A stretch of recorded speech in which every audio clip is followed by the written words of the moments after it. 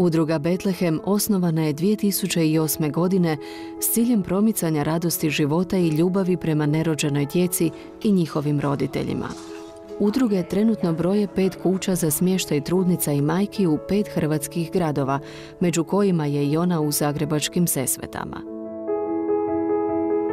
Udruga e, se brine o samohranim majkama, e, trudnicama i obiteljima sa mnogobrojnom djecom.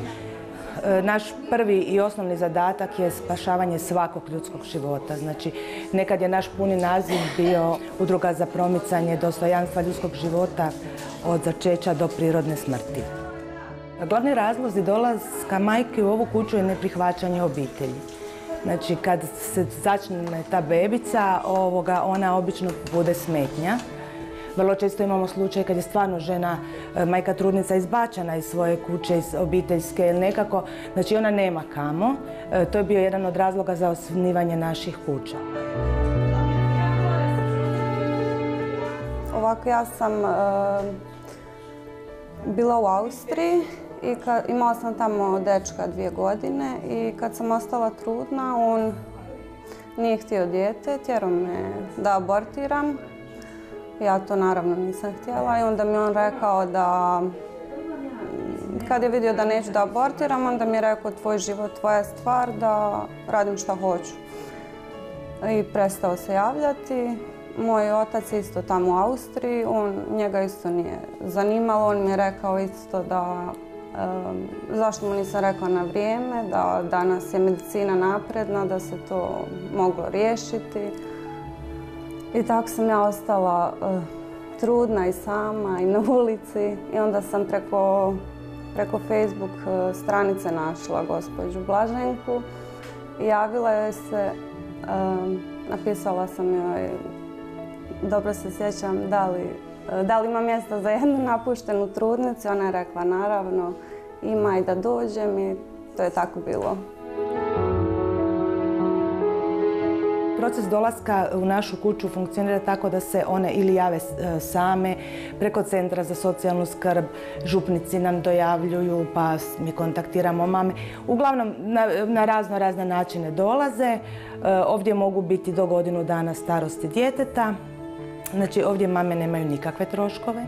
Sve snosi udruga uz pomoć isključivo dobrih ljudi i Božje providnosti. Trenutno na smještaju imamo tri majke, e, dvije su e, majke s bebama i jedna je trudnica.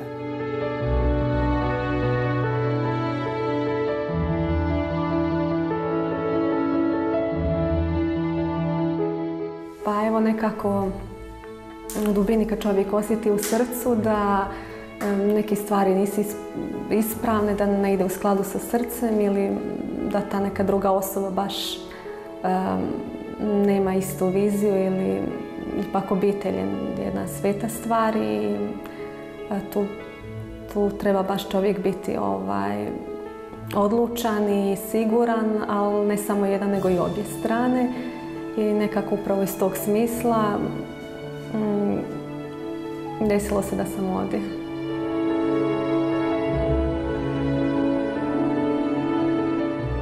Pa postoji iskustvo e, volontiranja i tog žrtvovanja, davanja, znači sebe, svog vremena, koliko možemo. Jer mi svi imamo svoje poslove, obitelji, eto tako, čisto iz ljubavi za nerođene, da nešto učinim za Boga, za, za zajednicu i to mi predstavlja zadovoljstvo i to naše jednostavno druženje kao braća i sestre, baš dišemo kao jedno. I to je nešto predivno. Uz pomoć ovako materijalnu i konkretnu našim e, majkama, e, mi imamo i projekt Najmanji među nama.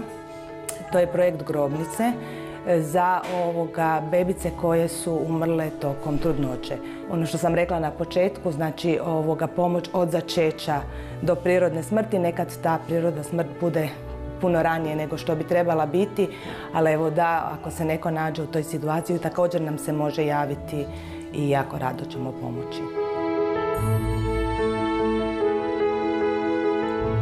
Pa ovdje trudnice imaju znači, sve, sve vrste pomoći, psihološke, financijske, materijalne.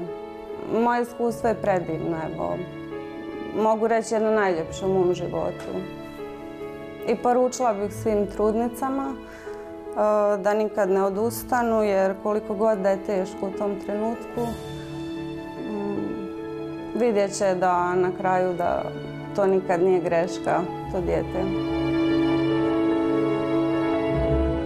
Uvijek ima to neko Božje svjetlo u kojoj god situaciji da se čovjek nađe i postoji ta jedna dobrota i ne, treba se bojati. Ma što čovjek napravi, uvijek se može popraviti. Ovaj, to nekako uz Božju pomoć uvijek može biti bolje i